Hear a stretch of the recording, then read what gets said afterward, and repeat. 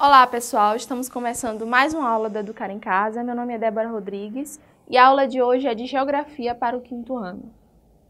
Bem, o assunto que nós vamos ver hoje é clima e vegetação do Brasil, dando continuidade ao assunto que nós vimos na aula passada sobre hidrografia brasileira. O Brasil, por suas dimensões continentais, possui uma ampla diversificação climática, influenciada por sua extensão costeira, seu relevo e as dinâmicas das massas de ar sobre o território. Bom, quando a gente fala de climas do Brasil, a gente pode observar que quando está fazendo calor ou quando está fazendo frio, se o céu está ensolarado ou se o céu está nublado. Esses são apenas exemplos de como está o tempo na, no local. O conjunto das características do tempo que se repetem durante certo período constitui o clima de um lugar. Ou seja, é, o tempo é quando eu digo está fazendo frio, isso é um tempo, é algo momentâneo. Daqui a pouco pode estar fazendo calor. Mas o clima ele é algo mais permanente naquele local, naquela cidade, naquele estado, naquela, naquele país. Então aqui a gente vai ver um pouco sobre o clima do Brasil e das regiões brasileiras. Qual é o clima que predomina nas regiões brasileiras? Bom, os climas do Brasil, o território brasileiro, em virtude de sua localização e de sua grande extensão, a gente sabe que é o quinto maior país do mundo em relação à sua extensão territorial, apresenta diferentes tipos de clima. Os principais climas do Brasil são clima equatorial, tropical, semiárido, tropical de altitude, tropical atlântico e subtropical. O que vai determinar cada um clima, cada clima desse Brasil é tanto sua hidrografia quanto sua posição em relação ao, à linha do Equador, ao meridiano de Greenwich também. Então, são fatores climáticos e a posição geográfica que determinam os climas que fazem parte da nossa, do nosso território. O clima equatorial é um tipo de clima quente e úmido, com muita chuva durante o ano todo. Nos estados do Amazonas e do Pará, por exemplo, predomina esse tipo de clima. A gente pode ver aqui na imagem do mapa quais são os estados, as regiões brasileiras em que cada clima predomina. Na região norte, o que mais predomina é o clima equatorial, é o que nós estamos vendo aqui agora, que é um clima mais quente, mais úmido e com muita chuva durante o ano todo. A vegetação, que encontra-se geralmente na região do Amazonas. O clima tropical que é predominante na maior parte do território brasileiro. Por isso, nosso país é chamado de país tropical. Esse clima é classificado em tropical semiárido, tropical semiúmido, tropical úmido e tropical de altitude. O tropical semiárido é o clima do sertão nordestino, faz muito calor o ano todo e apresenta longos períodos de seca. Aqui um exemplo do clima semi semiárido no Ceará. Quando a gente fala também de tropical semiárido, nas épocas de, de seca, ela tem essa imagem bem, bem sertão mesmo, mas quando é épocas de chuva também, ele muda completamente, essa vegetação fica toda verdinha, então parece uma, uma imagem completamente diferente de uma estação para outra. O tropical semiúmido é o clima predominante na maior parte do Brasil, esse clima possui uma estação chuvosa, no verão, e uma estação seca, no inverno. No verão ele faz mais chuva e no inverno ele é mais seco. Um exemplo aqui da Serra da Canastra, em Minas Gerais, que é um clima completamente semiúmido. No verão ele é um pouco mais chuvoso e no inverno ele é um pouco mais seco. O clima tropical úmido é um clima litorâneo caracterizado por chuvas frequentes e mal distribuídas durante o ano, as temperaturas são elevadas ao longo de todo o ano. Tem períodos de, de sol, que está fazendo muito, de verão, que faz muita chuva, períodos de inverno, que faz muito calor. Então, ele é bem desequilibrado de acordo com as estações do ano, o clima tropical úmido. E o clima tropical de altitude é o clima que ocorre nas regiões de altitudes mais elevadas do país. As chuvas são mal distribuídas também durante o ano e concentram-se principalmente no verão. Os climas subtropicais. É um clima que apresenta invernos frios, com geadas e chuvas durante o ano todo. No caso dos climas subtropicais, a gente encontra mais na parte sul do país, que é a Mata das Araucárias, no Rio Grande do Sul. A influência desse clima mais frio, desses invernos mais frios, vem da massa de ar que vem lá do Golfo do México, influencia diretamente. E pega um pouco também do sudeste, de São Paulo, também recebe um pouquinho da influência do clima subtropical. Bom, e a vegetação da do território brasileiro. A gente tem a floresta amazônica, que é a Amazônia, abrange toda a região norte, além de parte dos estados do Mato Grosso e do Maranhão, e alguns países que fazem fronteira com o Brasil. Como a gente já viu, nessa região o clima é equatorial, ele é quente e úmido ao mesmo tempo.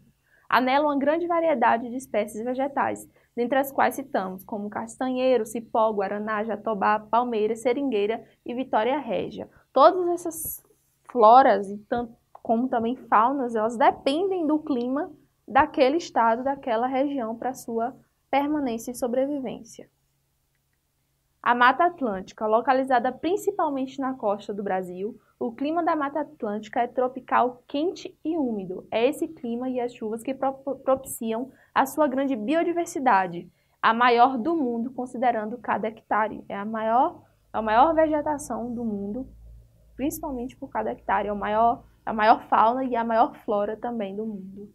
As espécies incluem cedro, imbaúba, ipê, jambu, palmiteiro, pau-brasil e peroba. Nela ainda é possível encontrar vegetação nativa em cerca de 8% de sua área. A Mata das Araucárias. Localizada no sul do Brasil e em partes do estado de São Paulo, o clima da Mata das Araucárias é subtropical. Nela surgem várias espécies vegetais, com predominância o pinheiro do Paraná, árvore alta que mede mais de 30 metros. Daí resulta a formação de uma floresta bastante densa. O Pantanal. A área do Pantanal compreende parte dos estados do Mato Grosso, Mato Grosso do Sul, chegando até o Paraguai. É nas áreas, nas áreas alagadas que surgem as gramíneas, enquanto os arbustos e palmeiras crescem nas áreas onde o alagamento acontece de forma ocasional, ou seja, em períodos do ano ele é seco, em outros períodos ele alaga. Há espécies da floresta tropical, por sua vez, que crescem nas áreas onde não há alagamentos, nos locais mais secos. A Caatinga. A Caatinga ocupa, a Caatinga ocupa o sertão nordestino, onde o clima é semiárido e chove pouco.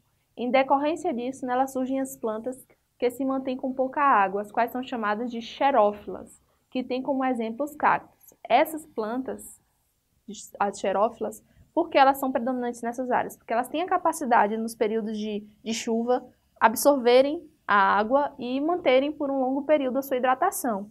Então, por isso que elas, são, elas conseguem sobreviver nesses locais. Também surgem plantas como o facheiro e o mandacaru, mas no favorecimento de umidade podem crescer, podem crescer na caatinga árvores como a aroeira, a baraúna e o juazeiro. O cerrado que predomina na região central do Brasil e apresenta um aspecto seco, tal como das savanas encontradas principalmente na África. O cerrado é o mais conhecido como a nossa savana brasileira, um pouco característica, que pega um pouco das, da característica da savana africana. O tipo de vegetação presente na área de cerrado é caracterizado pelo clima tropical sazonal, em que o inverno é seco e chove no verão. No cerrado encontra-se arbustos, árvores retorcidas e gramíneas. Quando a gente fala de vegetação brasileira, a gente também tem que pensar que o Brasil e a, o nosso clima, tanto as temperaturas e com, quanto efeitos de, a, da ação humana, tem áreas que são chamadas de áreas de transição, ou seja, são áreas que hoje podem ser consideradas erradas e amanhã ela muda completamente, principalmente por conta da grande, do grande índice que hoje tem no Brasil de poluição atmosférica, como também da ação humana, como as queimadas, as, os desmatamentos descontrolados, a pesca desenfreada também. Então, grande parte dessas faixas de transição se dá pela ação humana no nosso território. Bom, para a gente compreender um pouquinho aquilo que a gente viu, vai, vamos fazer um exercício de fixação. Primeira questão. O Brasil, devido à sua localização e grande extensão territorial, abriga diversos tipos de cobertura vegetal, sendo que cada região brasileira apresenta um bioma predominante.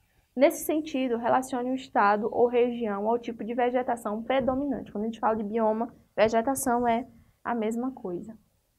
Bom, vocês vão relacionar região Nordeste. Qual desses biomas é predominante na região Nordeste?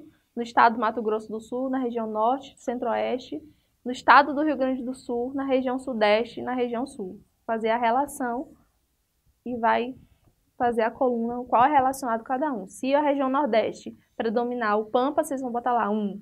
Se predominar O cerrado, vocês vão botar um no cerrado e assim sucessivamente. Então, qual é a, a sequência numérica em que, em que vai ficar ali? No caso aqui, a região Nordeste ela é predominante a Caatinga, como nós vimos. O estado do Mato Grosso do Sul ele é predominante o Pantanal. A região Norte ele é predominante a Floresta Amazônica. A região Centro-Oeste predominante o Cerrado. O estado do Rio Grande do Sul que predomina o Campos e o Pampas. A região Sudeste que predomina a Mata Atlântica e a região Sul que predomina as matas das araucárias. Segunda questão. Localizado principalmente na região centro-oeste, esse bioma é caracterizado pela presença de pequenos arbustos e árvores retorcidas, com cascas grossas e folhas recobertas de pelos. Solo deficiente em nutrientes e com alta concentração de alumínio.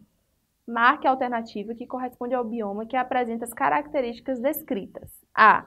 Mangue. B. Caatinga. C. Campos. D. Cerrado. Ou E. Mata de araucária.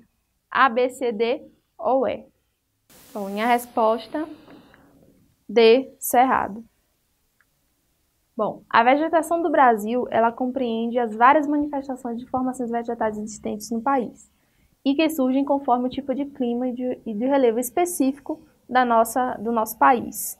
Assim como nós temos uma grande extensão territorial, temos também uma grande diversidade de vegetação e uma grande diversidade de biomas, que é o que nós vimos aqui. Também temos biomas que fazem parte de outros territórios, mas que já podem ser encontrados, principalmente com as nossas mudanças climáticas atuais no território brasileiro, mas eles não são predominantes no nosso território, ainda são poucos, é, muito, muitos poucos pedaços de território que ainda se encontra nesses biomas que estão chegando no Brasil. Bom, essa foi a nossa aula de hoje. Espero que tenham gostado e até a próxima.